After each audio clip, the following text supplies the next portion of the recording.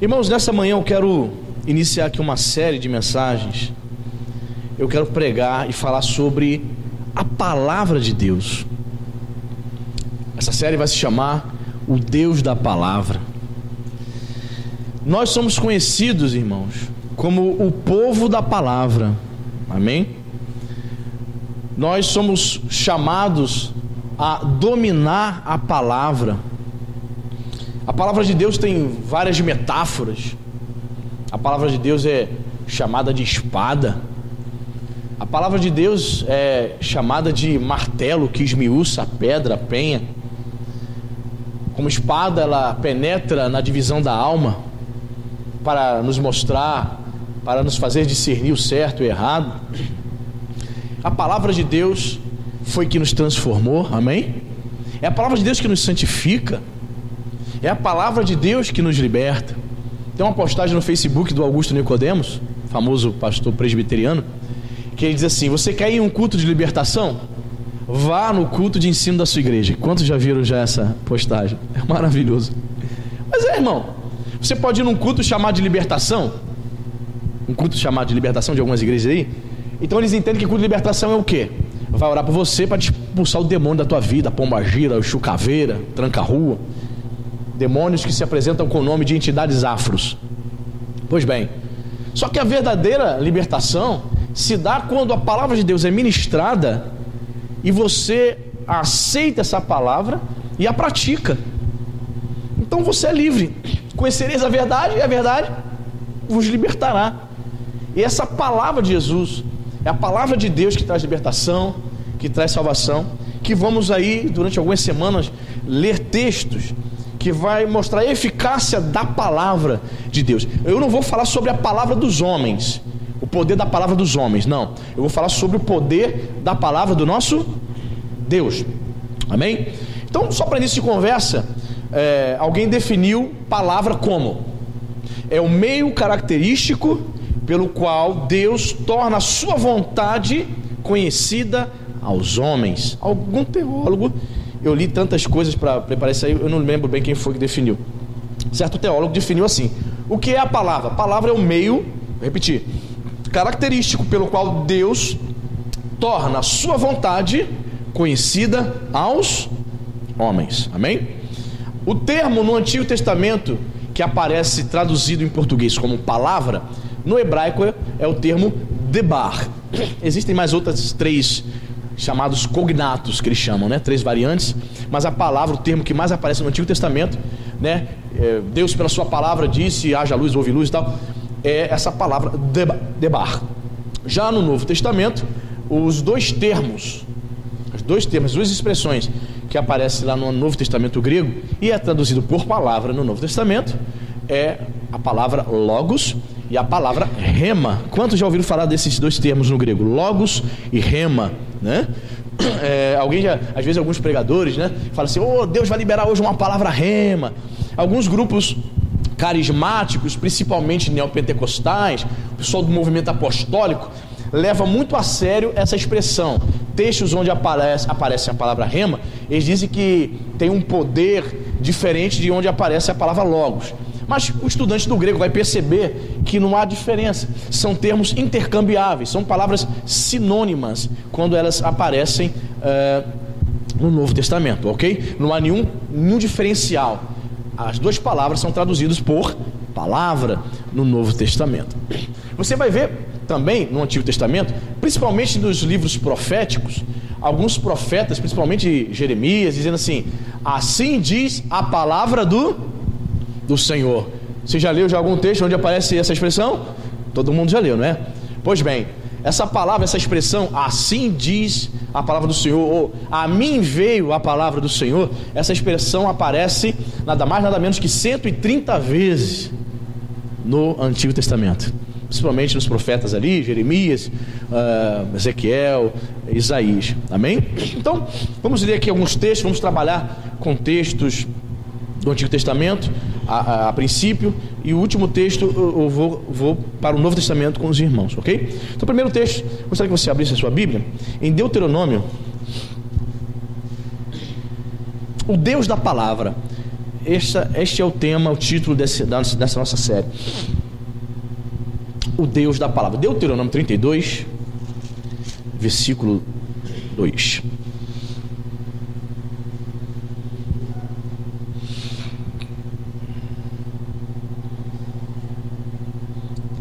É um texto lindo, é o cântico de Moisés, né?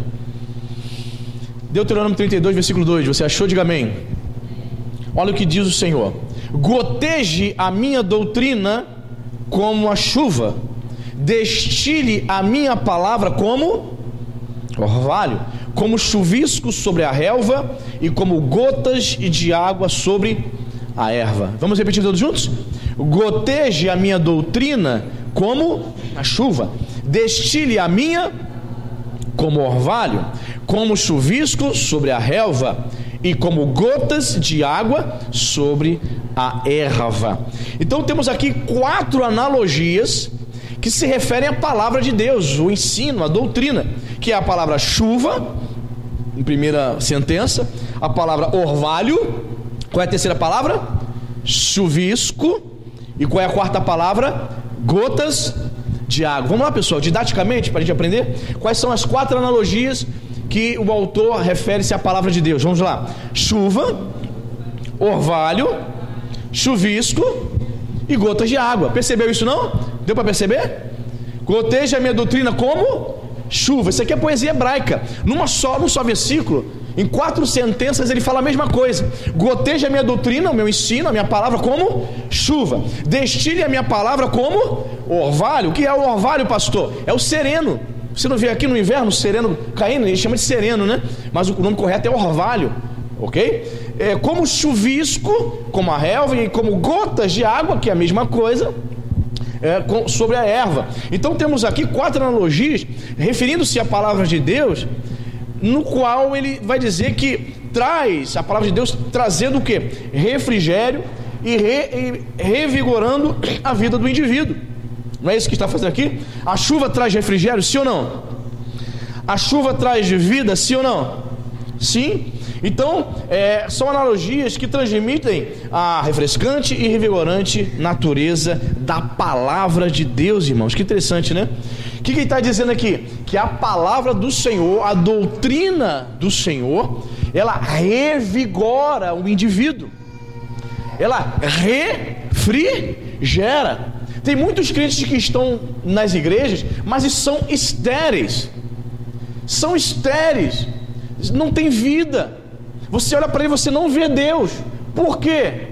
Culpa da igreja, ele tem que mudar de igreja para ver se melhora? Não, culpa dele mesmo é porque ele não se apega a essa palavra, porque ele não permite que a doutrina goteje, ele não permite que a palavra de Deus venha descer sobre ele como orvalho, ele não é influenciado, ele não é revigorado pela palavra.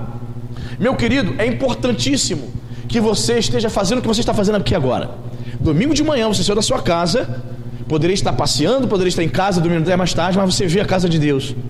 Você a esse lugar para cultuar o Senhor e para ouvir a palavra de Deus. Amém? Mas isso só não basta.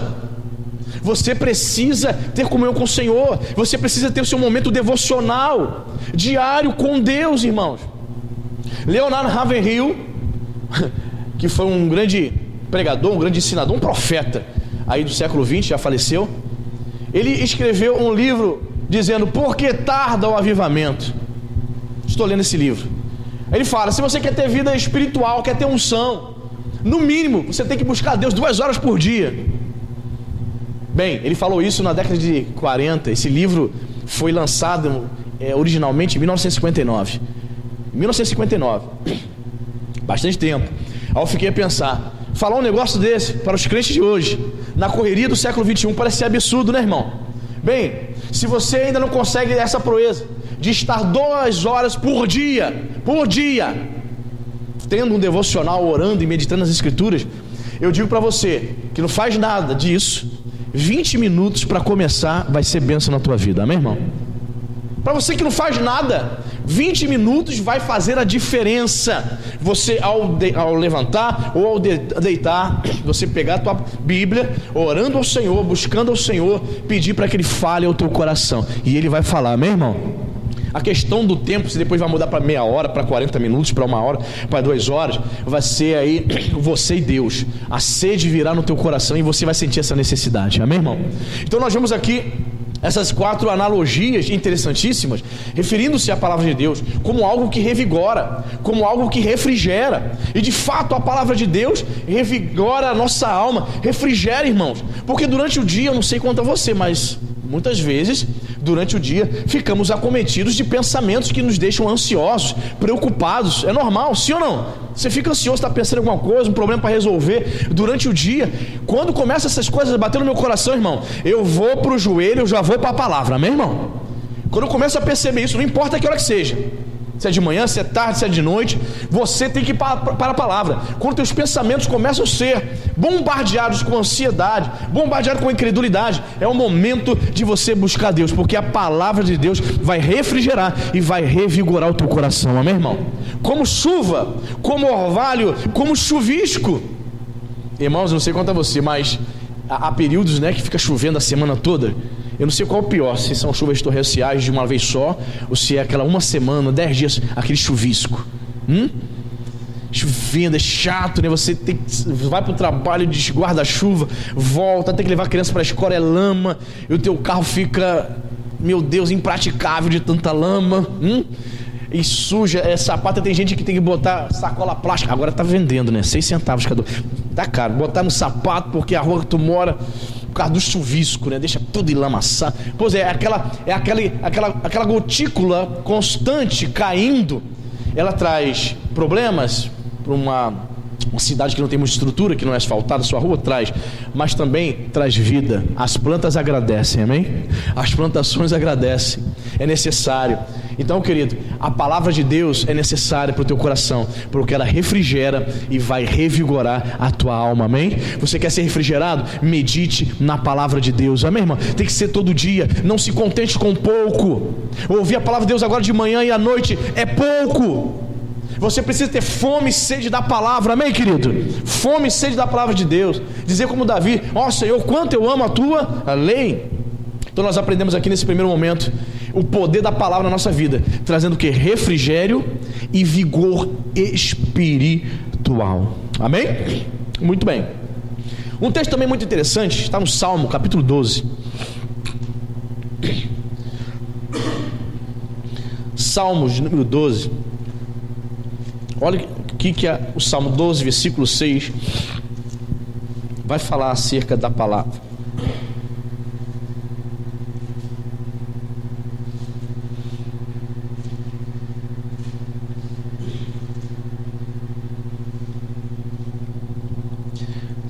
Salmo 12, verso 6, é isso. Você achou? Amém? Olha que bonito, irmãos. As palavras do Senhor são palavras puras, prata refinada em cadinho de barro, depurada sete vezes. Aqui ele está fazendo uma metáfora da palavra de Deus ser pura, no sentido de não haver sujeira, contaminação. Eu não sei se você já viu algum ourives derretendo prata derretendo ouro. Ali, ele naquele derretimento, naquele processo, ele precisa tirar o quê?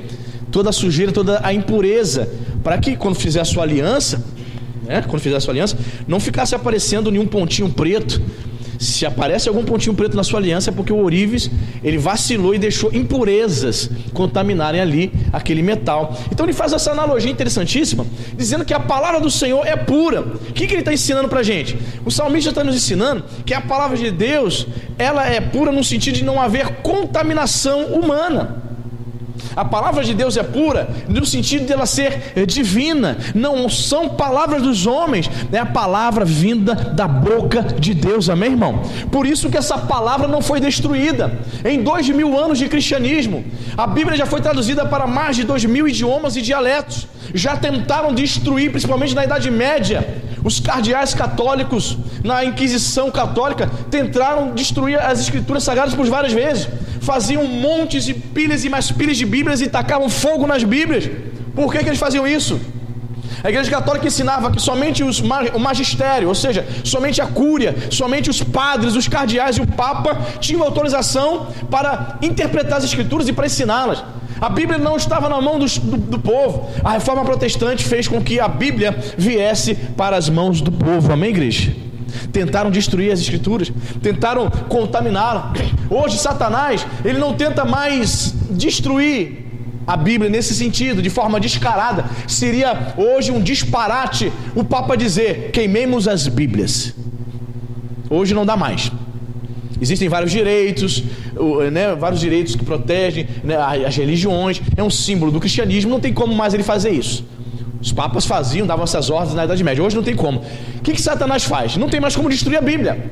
Não, que, não tem mais como confiscar a, as imprensas, as editoras, fechar as gráficas que produzem Bíblia. Não tem como. Então o que, que ele faz? O que Satanás faz para impedir que a palavra de Deus chegue e alcance os corações? Eles tentam distorcer ser, tornar a palavra de Deus impura. Vou te dizer, quando o indivíduo tenta tornar a palavra de Deus impura, ele pega um texto, por exemplo, das Escrituras, por exemplo, onde diz assim: Davi amou a Jonathan. Aí o cara que tem uma inclinação homossexual, um camarada que vive na promiscuidade, ele vai dizer: tá vendo? Davi tinha um relacionamento homoafetivo com Jonathan, filho de Saul. E existe a Bíblia de estudo inclusiva. Quem sabia que existe a Bíblia de estudo dos gays? Quem sabia disso? Irmãos, eu acho que se Lutero pudesse, estaria se revirando no túmulo agora. Os grandes reformadores os grandes avivalistas estariam. Meu Deus do céu, a Bíblia dos gays. Quem poderia imaginar um negócio desse, irmão? É o fim do mundo. Ou seja, a interpretação dessa palavra que é ministrada para essas pessoas, essa interpretação é impura mas a palavra de Deus para os nossos corações, sendo ministrada com fidelidade, ela é pura. Então ele usa aqui três expressões interessantes, né? Vamos ler de novo. As palavras do Senhor são palavras, repita comigo: pura, prata refinada e depurada sete vezes. Então ele usa três expressões interessantíssimas. Diz que a palavra é pura, refinada e depurada. Em contraste com a palavra dos homens, a palavra de Deus, ela se cumpre, ela é verdadeira, amém, querido? A vontade de Deus é revelada aos homens, em contraste com a palavra do homem. Por isso que é importante todo pregador estudar hermenêutica, que é a ciência da interpretação bíblica. Eu estou lendo, eu tenho lido um livro de hermenêutica, aí diz como se comportar pregador deve se comportar, por exemplo, numa cerimônia fúnebre, né? Como ele deve se chegar, o que, que ele deve falar, a maneira que ele deve pregar, que que ele, qual texto vai, vai trazer. Você, você sabe que existem pessoas assim que realmente se, são sem noção, né? Chega no sepultamento, ele vai se ler um texto tipo assim: Alegrai-vos no Senhor. A família vai se alegrar no Senhor. Não é o momento, é o momento de sepultamento, de dor, de lamento. Você vai trazer algo que se encaixe ali. Alegrai-vos no Senhor. Ou o pastor dizer assim: Bom dia. Não, não, não é um bom dia. Ele tem que dizer qualquer outra coisa quando ele vai se apresentar para trazer uma palavra ali de conforto, de consolo para a família. A palavra que ele vai pregar é para o defunto, ele vai dizer que o defunto está no céu, ninguém sabe. Então ele não pode ler um texto tipo assim: a morte dos santos é vista de forma agradável aos olhos do Senhor, é complicado. Ainda mais se o indivíduo, a gente sabe que o indivíduo não era crente. Então existe todo um processo de comportamento, de qual texto ele vai dizer, como você chegar, por exemplo, num culto de sepultamento, num culto onde está sendo celebrado um casamento. Então tem gente que não, se, não importa. Ele vai dizer assim: não, o Espírito Santo está na minha vida, Deus vai me dar na hora. Meu Deus do céu. Então você vê aí a palavra sendo contaminada pelos homens mas ela em si mesma, ela é pura, ela é refinada, ela é depurada. Ele vai usar ainda a expressão depurada quantas vezes? Sete vezes, para falar que ela é perfeita. Para falar que a origem dessa palavra é de origem o que? Divina. É a palavra do nosso Deus, amém, irmão? Ela é maravilhosa. Por exemplo, deixa eu dar outro exemplo aqui. Quando um homem tenta tornar a palavra de Deus impura, tornar ela de forma. É, tenta distorcer a Bíblia. Por exemplo, Paulo vai dizer assim: abstenham-se da fornicação. Ok? Vocês devem se abster da prostituição, melhor dizendo. Então, prostituição lá no grego é o termo porneia. Porneia. Essa palavra porneia, ela se refere não somente à prostituição que as mulheres que se vendem, vendem os seus corpos, estão praticando. Mas a palavra porneia, ela abrange todo tipo de imoralidade. Se a pessoa estiver na internet vendo pornografia, porneia, ela se inclui. É fornicação. Se for casado, adultério. Entende? Então, as pessoas pegam, talvez alguma pessoa sem esse entendimento, ela vai distorcer a palavra, ela vai dizer assim: não, esse texto só está dizendo, está se referindo somente às prostitutas. Diz que nós devemos nos abster da prostituição. Ele esquece de todo o contexto, esquece de fazer uma exegese da palavra, e aí você percebe que essa palavra não é pura. Por quê? Porque o homem contaminou. Então a gente tem que perceber. Uma das orações que eu mais faço, irmãos, talvez você deve ter, deve ter me visto fazendo essa oração, é que o Senhor me use para pregar a palavra de Deus com fidelidade. O que, que significa? O que, que eu estou pedindo a Deus? Estou pedindo para transmitir a palavra com fidelidade, ou seja, eu quero ser fiel a esta palavra, não quero passar meus pensamentos, o que eu acho, mas o que Deus pensa e o que Deus acha. Amém?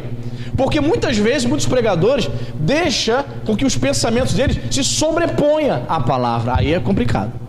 Aí você vai ver a igreja sendo dominada pela doutrina dos homens. Só que a palavra em si, ela é pura. Ela é refinada, é depurada. Quantas vezes? Sete vezes.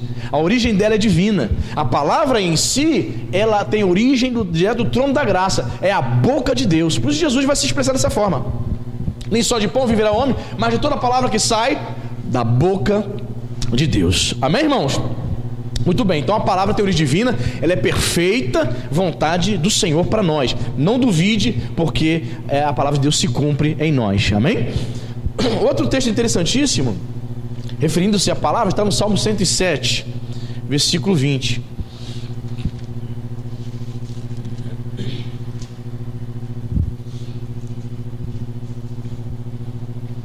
Olha que lindo, irmãos. Tem gente que não tem hábito muito de ler o Antigo Testamento, mas o Antigo Testamento tem pérolas lindas, textos maravilhosos, irmãos. Salmo 107, versículo 20, você achou? Diz a palavra: enviou-lhes a sua palavra. O que, que aconteceu? E os sarou e os livrou do que lhes era mortal. O que, que eu aprendo aqui? Que a palavra de Deus, repita comigo, traz cura.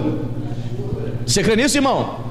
Enviou-lhes a sua palavra e os sarou. A palavra de Deus traz cura para a alma, irmão.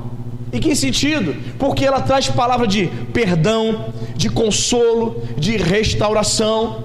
Então, quantas são as pessoas que se achegam à presença do Senhor e a palavra de Deus é ministrada a ela? Às vezes estava fazendo terapia com psicólogo, pagando aí por sessão terapêutica 300, 500 reais. Isso barato, irmão. Depois tu joga na internet para saber quanto que um psicólogo na Zona Sul está cobrando por 40 minutos de consulta. Quantas pessoas ali se consultando. E ali, e é do interesse do psicólogo que essa pessoa vai embora rápido? Não. Quanto mais tempo durar o tratamento, é mais dinheiro está entrando, certo? Pois bem, aí a pessoa se chega na igreja, começa a ouvir a palavra de Deus, e a palavra de Deus vai fazendo o que com ela? Vai trazendo uma mensagem de perdão, traz para ela uma mensagem de cura, de consolo. Poderá, Isaías 49, 15, poderá uma mãe esquecer-se do seu filho? A resposta seria: Acho que não, pastor. Pois é, aí o profeta vai dizer: Ainda que faça isso, eu, todavia, o Senhor, jamais me esquecerei de ti. Meu Deus do céu. Você saber disso, que Deus olha para você como se fosse um, de fato, um filho que você é, cuida de você de fato como filho que você é, que Deus não te abandona, que o Senhor não te esquece. Então, uma pessoa que está vivendo suas crises existenciais, chega na casa de Deus, ouve a palavra, e o que, que a palavra faz? Ela traz cura. Você foi curado pela palavra, irmão? Eu fui, graças a Deus por isso. Mas, pastor, o senhor se converteu muito cedo. O senhor não tem nenhum testemunho para dar. O senhor não fumou maconha, não cheirou cocaína. O seu testemunho, pastor, é de que o senhor soltava pipa na frente do ventilador, jogava bolinha de gude no tapete da, da sala, pastor.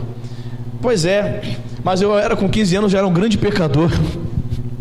E ele me resgatou, ele me salvou, amém, irmão?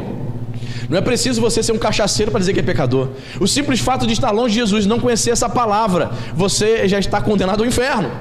Mas Jesus me revelou essa palavra e eu recebi cura para a minha alma, meu irmão. É bom também dizer que a palavra de Deus também traz cura física. Você crê nisso, irmão? Por quê? Porque quando a palavra de Deus é ministrada, você acredita, começa a gerar essa palavra fé no teu coração. Você começa a acreditar naquilo que você não acreditava. A palavra de Deus começa a tirar a incredulidade, o ceticismo. Aí você não acreditava antes de conhecer essa palavra que poderia ser curado. Aí a palavra de Deus vai encher o teu coração de fé. Você vai lendo as escrituras, você vai ouvindo a palavra, vai vendo os textos que Jesus curava e você começa a tomar posse para si desta palavra e pode sim receber cura. Amém, queridos? Irmãos, eu comecei a correr e comecei a correr no início desse ano, né? Fazer caminhada. Aí, não, ano passado, há um ano atrás comecei a correr. Quando foi em janeiro desse ano, eu comecei, irmãos, a sentir uma dor aqui logo embaixo do joelho. Terminava a corrida, falei, Cíntia, eu comecei a reclamar com ela. Falei, Cíntia, meu Deus do céu, acho que eu rompi algum ligamento aqui.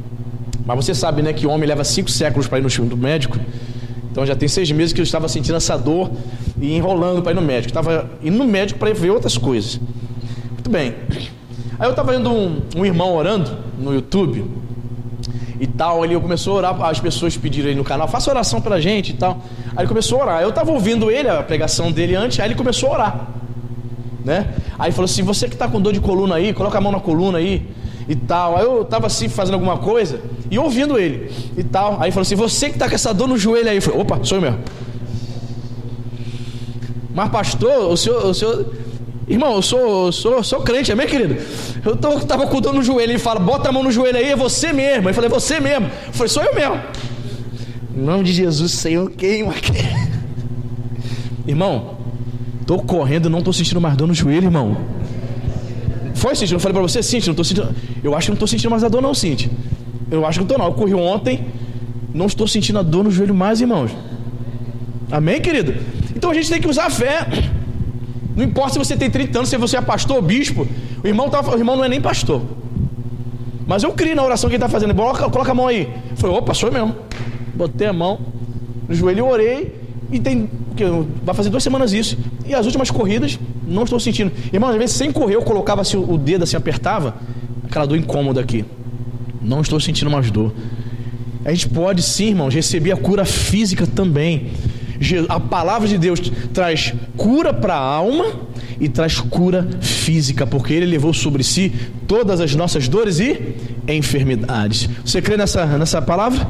Louvado seja o nome de Jesus. Amém? Então guarda, esse, esse é um texto que você tem que sublinhar. Ó. A palavra de Deus traz cura. A palavra sarou, né? enviou-lhe a sua palavra e os sarou, trouxe cura. Bendito seja o nome do Senhor. Muito bem. Quarto texto é um texto mais conhecido nosso, que está no Salmo 119 versículo 105.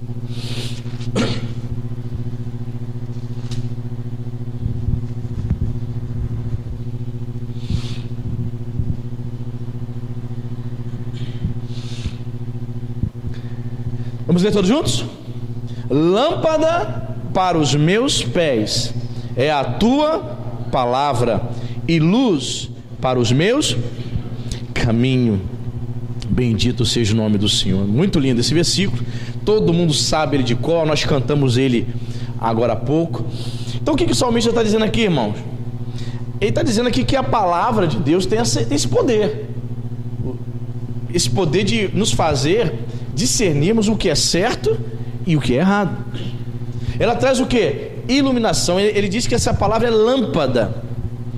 E eu entendo que essa palavra como lâmpada, eu não sei se você sabe, as lâmpadas daquele tempo, lembre-se, não era como essas lâmpadas aqui não. Era uma espécie de lamparina que eram sustentadas, o combustível era o óleo, óleo, azeite. O azeite de oliva, o óleo puro, era o combustível dessas lâmpadas. Então o indivíduo andava na, na noite, não havia iluminação pública, né? Lembre-se disso? Então ele andava o quê? Com uma. Seria hoje o nosso. Nossa lanterna, né? Para iluminar o caminho. Então o indivíduo usava a lâmpada, na qual o combustível era o óleo, para iluminar o caminho. O que, que eu aprendo com isso, irmãos? Hum? A palavra de Deus, a lâmpada, ela produzirá efeito no nosso coração se você permitir que o Espírito Santo de Deus esteja na tua vida. Amém, irmão? Sabe por quê, irmão?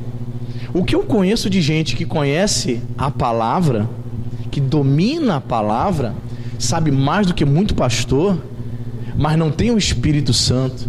Tem efeito essa palavra no coração dele? Não. Você vê que é um indivíduo sem temor a Deus, mágoa no coração. Ele conhece a palavra, mas não pratica. O Espírito Santo, a lâmpada, possuindo este óleo, o combustível do Espírito, então vai haver uma associação, uma ligação que vai nos fazer dar frutos, vai iluminar o caminho, nos livrando das trevas espirituais. Percebe? Então, só a palavra em si, para muitas pessoas, pode produzir até mesmo orgulho. Olha, tem gente fazendo faculdade de teologia, ateu, só para debater. Eu disse para você, irmãos, eu fiz a minha convalidação do seminário lá na Fateós, e eles disseram que teve uma turma lá de bacharel em teologia, que um camarada gay assumidamente, gay, de munhecana, aqueles trejeitos todos, chegou lá e falou: Eu quero fazer teologia. E o pessoal foi muito intrigado. Alguns, muitos não tiveram coragem de perguntar, mas teve um gato que foi lá perguntar: Por que você quer fazer teologia, já que você é gay assumido? Ele, não, eu quero, quero conhecer. Não é para praticar, irmão. Eu quero saber também é, estar nas rodas das conversas. Eu quero também saber do assunto, dominar o assunto. Bem, permitiram que ele tenha feito. Eu acho que até mesmo no intuito de, tipo assim, quem sabe ele ouve alguma coisa aqui se converte, né? Eu estava conversando com a irmã Sônia, a irmã Sônia Gouveia, ela, ela é professora. Ela falou isso comigo, pastor. É, as pessoas falavam de igreja, sobre religião, não entendia nada. Aí eu comecei a sentar lá do lado do Fábio, lá na escola, nos momentos de intervalo. Aí falando sobre a palavra de Deus, eu não entendia nada. Aí ela falou assim: pô, eu quero, quero conhecer mais esse negócio, quero aprender mais. Aí ela começou a se interessar. Ela começou a pergun fazer perguntas bíblicas, teológicas ao Fábio. O Fábio aproveitou e foi evangelizando ela. Hoje está aqui batizada, ouvindo a palavra de Deus. Amém, irmão? Caminhando no Senhor, ouvindo a palavra. Mas tudo surgiu de um interesse. Né? Então é, é, é um tema polêmico, né? Algumas faculdades talvez não permitiriam que esse rapaz fizesse teologia. Os professores pisando em ovos, com receio de falar algumas coisas que eu ofendesse e tal. Mas permitiram. Eu penso que nesse intuito de que ele ouvindo alguma coisa, ele poderia até mesmo se despertar, se voltar para Deus. Então é interessante essa metáfora da lâmpada, porque a palavra é lâmpada que ilumina, mas o que que o que, que mantém acesa essa lâmpada? Qual é o combustível dessa lâmpada? Qual é o combustível da palavra no nosso coração? É o Espírito Santo. Irmão, você pode ser uma pessoa humilde, você não precisa ser um teólogo, um expert, mas se você tem um coração aberto, coração cheio do Espírito Santo, você lê um versículo, como aquele versículo vai fazer efeito na tua vida, irmão? Vai ser algo poderoso na sua vida. Sabe por quê? Porque você está alimentando a palavra a lâmpada com o óleo do Espírito Santo de Deus. Amém, irmão? Então é interessante a gente perceber essas coisas. Então ele compara a palavra a lâmpada, que ilumina, que precisa ter como combustível o óleo, né? o óleo, o azeite, que é símbolo da palavra, do Espírito Santo, aliás. E ele diz que essa palavra é luz, não é isso? Luz para o caminho. Por que, que é luz para o caminho?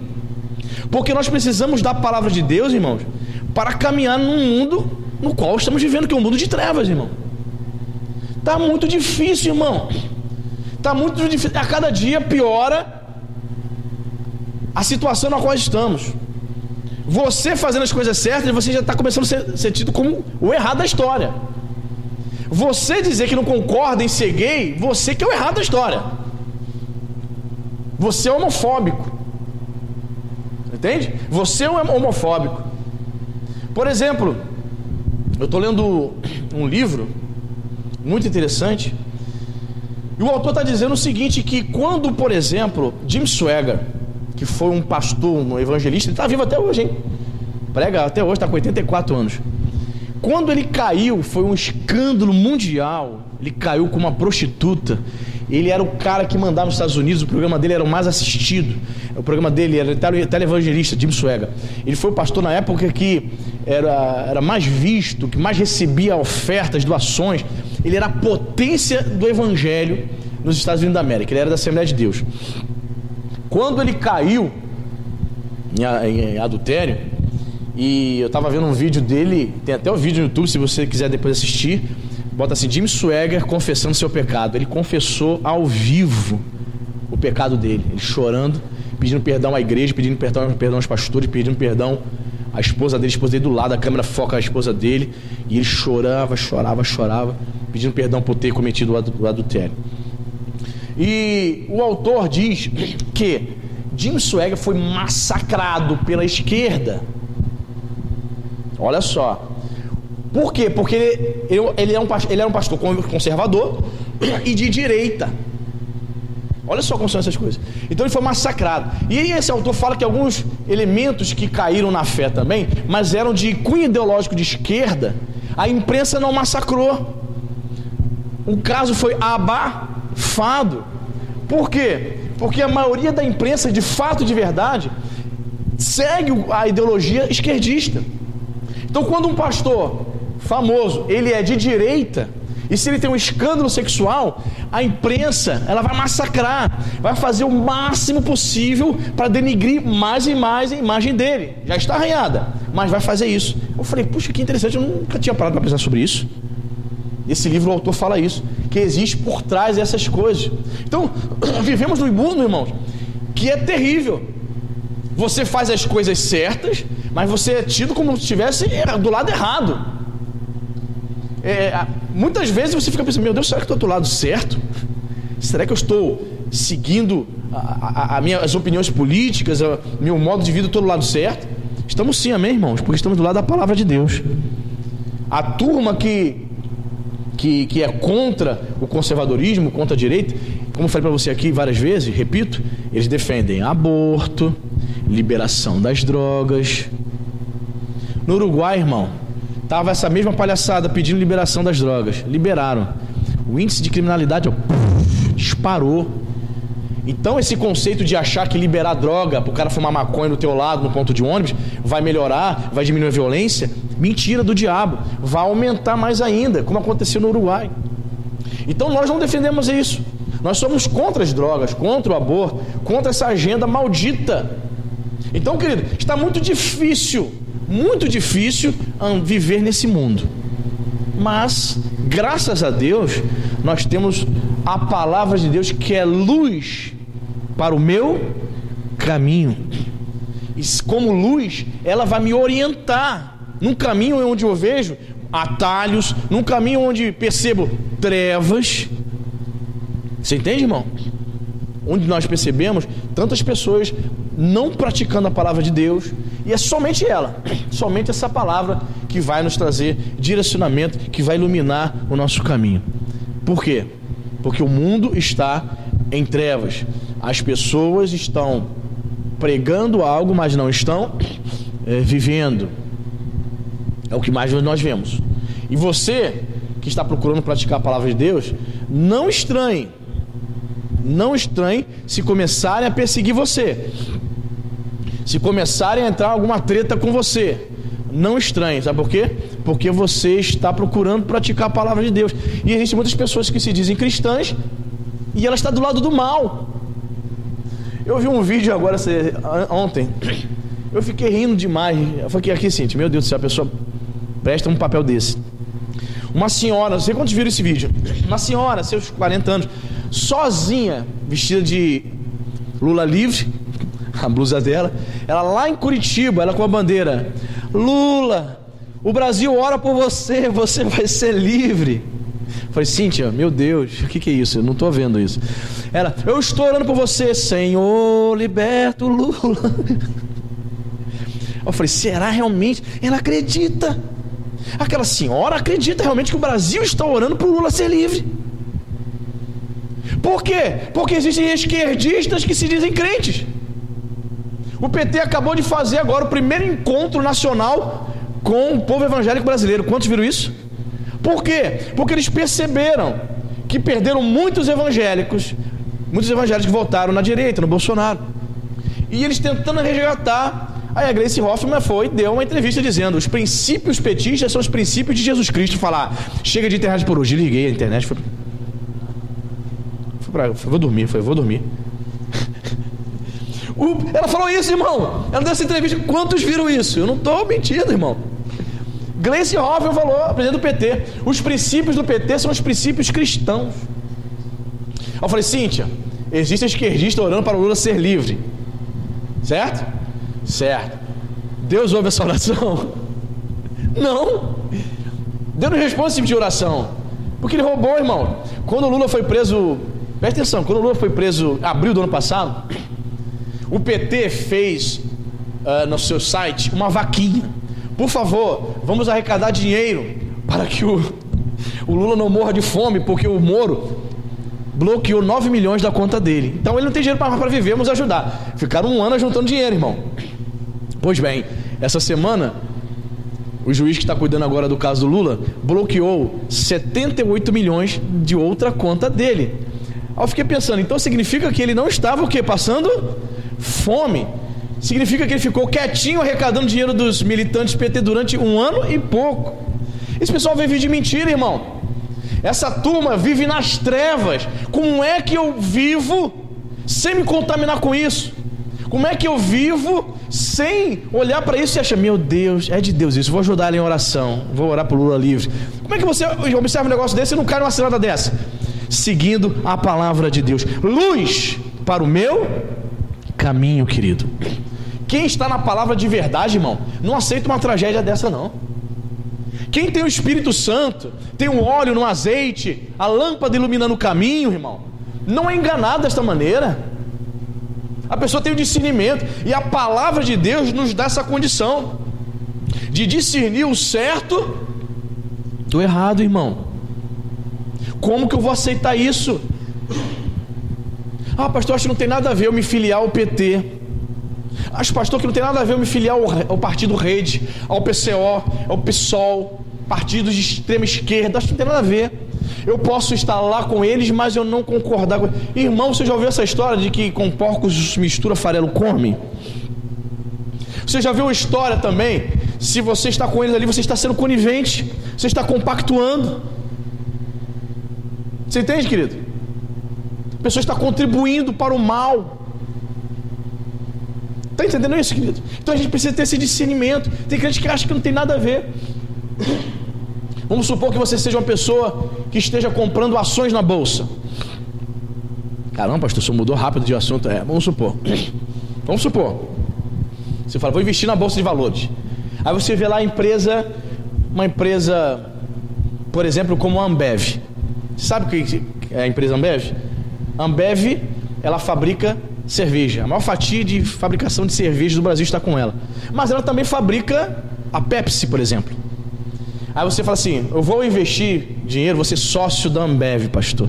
Eu estou comprando ações da Ambev. Irmãos, sinceramente, minha opinião, eu não compraria. Mas, pastor, é, também fabrica a Pepsi, é refrigerante. Eu não compraria. Porque eu não posso ser conivente, eu não posso injetar dinheiro numa empresa que fabrica cerveja. E você sabe que o álcool é o maior motivo de morte nas estradas do Brasil. No Brasil se morre, é um dos países que mais se morre gente no trânsito. E a maior parte dessas pessoas estavam que embriagadas. Então, não é conivente. Eu não posso, como crente, ser sócio. Não, a minha consciência não me permite, como cristão, investir dinheiro numa empresa que fabrica cerveja. Não posso. Vai tudo aquilo que eu prego, vai contra tudo aquilo que eu prego e acredito. Você está entendendo isso, irmão? Então eu não posso ser conivente. Pastor, mas fabrica Pepsi também, mas a maior fatia é de cerveja. 90% da sua fabricação é de cerveja. Eu não posso injetar dinheiro numa empresa que fabrica isso. Vai contra tudo o que eu prego, acredito e penso. Vai contra a palavra de Deus. Mas, certamente você vai encontrar cristãos comprando ações da Ambev. Porque as ações da Ambev estão em alta. Porque as ações da Ambev estão em alta e é uma empresa que está crescendo. Daqui a 5, 10 anos seus dividendos serão enormes. Aí o camarada só está com o olho no dinheiro. Ele esquece a sua reputação. Ele esquece sua consciência jogada no lixo. A nossa consciência precisa estar sendo governada pelo Espírito Santo de Deus. Amém, irmão? Senão, você vai ser um frequentador de igreja. E mais lá fora praticando coisas que contraria aquilo que é pregado aqui, que contraria aquele seu discurso que você faz para os seus amigos no trabalho, para os seus amigos, para a sua família, para a sua parentela. Quem está entendendo? Amém? Muito bem. E o quinto e último texto dessa manhã, vamos dar um pulinho lá no Novo Testamento, Hebreus.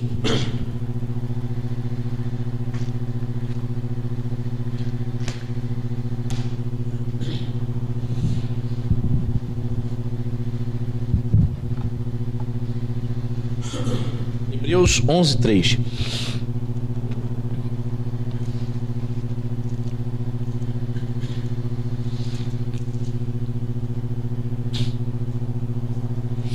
Aqui ele já muda um pouco de assunto, mas ele vai dizer sobre o que Deus realizou através da sua palavra. Hebreus 11, 3, você achou? Pela fé, pela fé, entendemos que foi o universo formado pela palavra de Deus, de maneira que o visível veio a existir das coisas que não aparecem. É um versículo difícil de entender, vamos ler de novo. Pela fé, entendemos que foi o universo formado, criado pela palavra de Deus, de maneira que o visível, aquilo que a gente está vendo, veio a existir das coisas que não aparecem, ou seja, o visível veio a existir por meio das coisas invisíveis. Perfeito? Vamos entender aqui a primeira coisa. Primeira coisa que eu tenho que aprender aqui, que nas questões espirituais a fé vai preceder a razão. Por que, pastor? Porque o criacionismo, a Bíblia ensina a doutrina da criação do nada. Deus formou a matéria do nada. A expressão latina é ex nihilo. Os teólogos gostam de usar essa expressão. Ex nihilo, do nada. Pastor, e aí, o que, que tem a ver? Tem muito a ver os ateus, os ateístas, os defensores da teoria da evolução, os defensores do Big Bang, eles defendem que o mundo, o universo a existência a partir de matéria já pré-existente. E aí, pastor, qual é o problema? Muito problema. Se você segue a teoria do Big Bang, se você segue a teoria das escolas, a teoria da evolução, teu filho chega lá com aquele livro mostrando lá o crescimento do macaco para se tornar homem. Hã? Você simplesmente está indo contra a palavra. Então, então, pastor, quer dizer então que é impossível então conciliarmos a fé e a razão? Não. Tomás de Aquino, né, eu ganhei de presente a Suma Teológica, você sabe. Tomás de Aquino, ele foi um filósofo teólogo que defendia a propagação do evangelho, o evangelismo, o convencimento das pessoas à fé, usando a razão. Então é possível usar a razão com a fé. O que não pode acontecer é você inverter, colocar razão em, como prioridade, em primeira instância, para se interpretar as escrituras. Então, nas questões espirituais, nas questões espirituais, a fé sempre precede a razão. Ah, pastor, descobriram isso, isso, físico tal descobriu isso, isso. Eu fico com a fé. E a fé diz, a fé nos faz entender. Percebe que ele diz aqui, ó, pela fé entendemos. Pela fé eu chego à conclusão de que o mundo foi formado pela palavra. É pela fé. Ainda os cientistas não encontraram uma explicação razoável. Enquanto o mundo diz que você tem que ver para crer, os crentes creem para ver. Entendeu? Pela fé que você entende. Se você aqui nessa quesita aqui de criação, se você tentar encontrar explicação pela razão, você vai ficar confuso. Vai chegar ao ponto de repente que você vai negar a fé, vai negar as escrituras como palavra de Deus. Então é perigoso alguns pastores têm muita dificuldade, alguns teólogos têm dificuldade de tentar conciliar a Bíblia com as teorias acerca da criação humana. Vai ter problema, ah, com certeza. Então, você, é, então não é raro então você encontrar pastores e teólogos que acreditam na teoria da evolução, que é um absurdo. Eles acreditam na Bíblia e também na teoria da evolução. Eles tentam conciliar, não dá, irmão. Ou você é um ateísta que crê na teoria da evolução, ou você é um criacionista e que tem essa palavra aqui como verdade na tua vida. O doutor Russell Shedd, que faleceu há pouco tempo, foi um norte-americano naturalizado brasileiro, muito famoso aqui, um grande teólogo, doutor em teologia no Novo Testamento. Ele escreveu, comentando acerca desse versículo, ele escreveu o seguinte: A fé substancia a realidade de Deus. A fé substancia a realidade. Ou seja, o autor está dizendo: as coisas que eu vejo agora, que eu consigo apalpar, foi pelo poder da palavra de Deus que ela veio existir. Certo?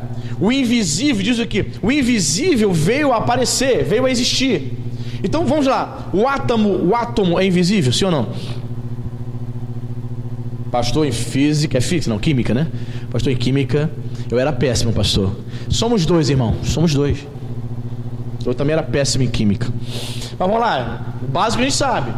O, você consegue ver os átomos aqui, irmãos, assim, flutuando? Hã? Não, né? As moléculas? Não, né? Os gases? Não. Mas toda essa combinação foi criada por Deus. Temos aqui molécula aqui. Ah, Para formar essa madeira aqui existem moléculas, certo? Mas existem as invisíveis também. Deus que criou, irmão. Deus criou aquilo que existe, aquilo que se vê, aquilo que se pega, do nada.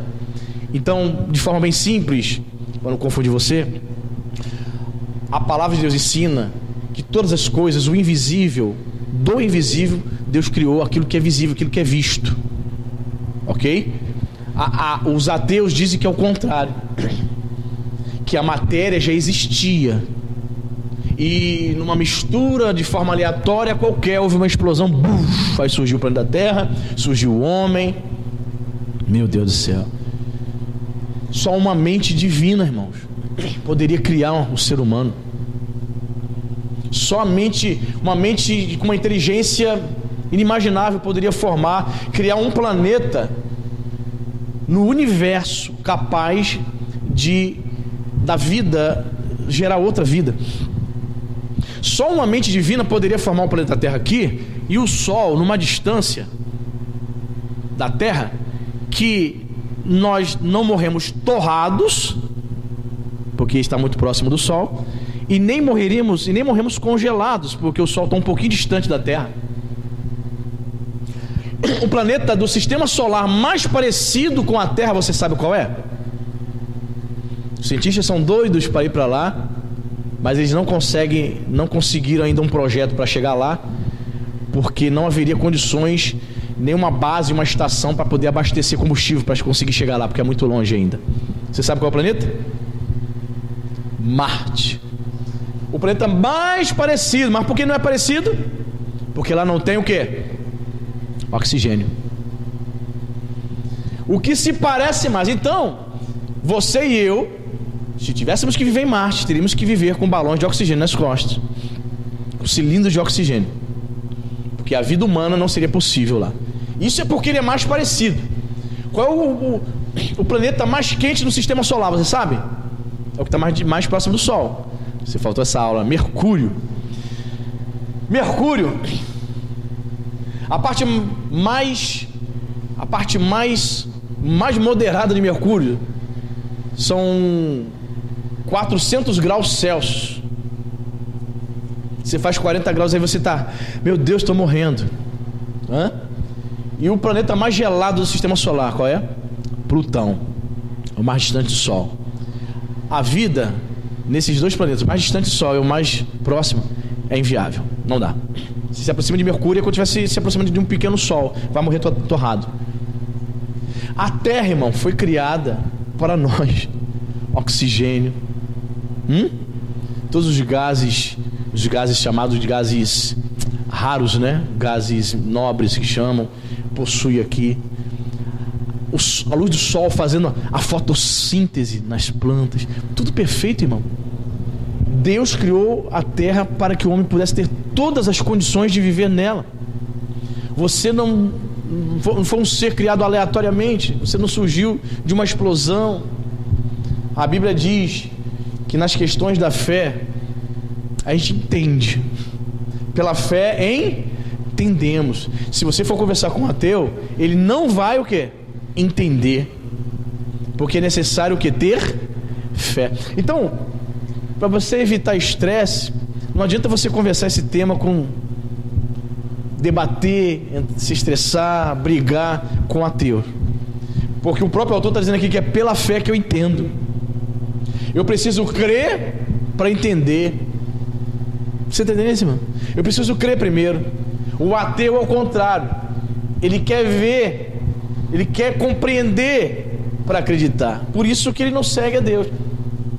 Existe um, um livro um dos caras considerado uma das maiores autoridades ateístas do mundo. O nome dele é Richard Dawkins. Não é o Steven não, que morreu não. É Richard Dawkins. Ele escreveu um livro chamado assim, Deus, um delírio. Irmãos, estava folheando esse livro na livraria. Grosso. Ele por A mais B tentando provar que a crença em Deus é uma lenda criada pelas tribos, as primeiras tribos que existiram, que a crença em Deus é uma tolice. O próprio título está dizendo Deus um delírio. Então ele tenta provar que a religião foi algo criado, que a fé foi algo criado. Então ele tenta provar por A mais B que a física desconstrói a fé. E existem muitos cristãos, é, é, William Lane Craig, que é um teólogo, filósofo cristão, que desafiou ele. Se você for para a internet, você vai ver. Desafiou Richard Dawkins.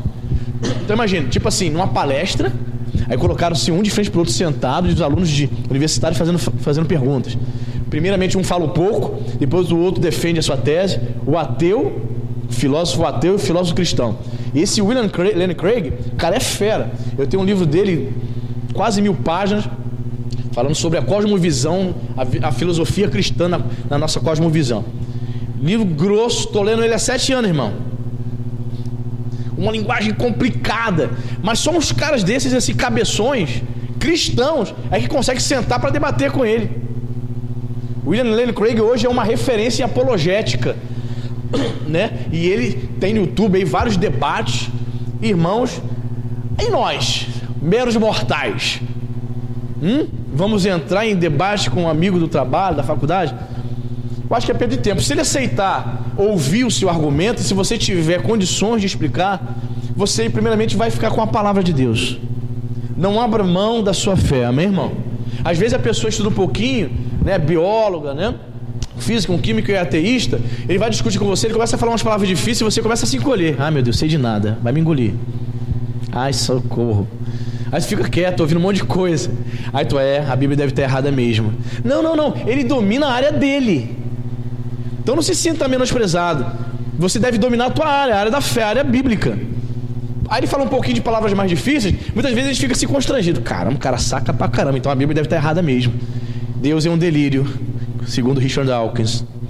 Não, querido. Pela fé, nós entendemos que o universo foi formado. Deus falou e a matéria veio a existir. Amém, irmão? o invisível, ou melhor, o visível veio a existir através das coisas invisíveis. Então, para encerrar essa mensagem, eu repito aqui a frase do saudoso Russell Shedd, comentando exatamente esse versículo: A fé substancia a realidade de Deus. Amém, queridos? Bendito seja o nome do Senhor. Vamos ficar de pé, que você possa ter guardado essa palavra no coração. Espírito Santo de Deus, muito obrigado, Pai. Obrigado, Senhor, porque o Senhor tem nos ensinado tantas coisas preciosas acerca da Sua palavra.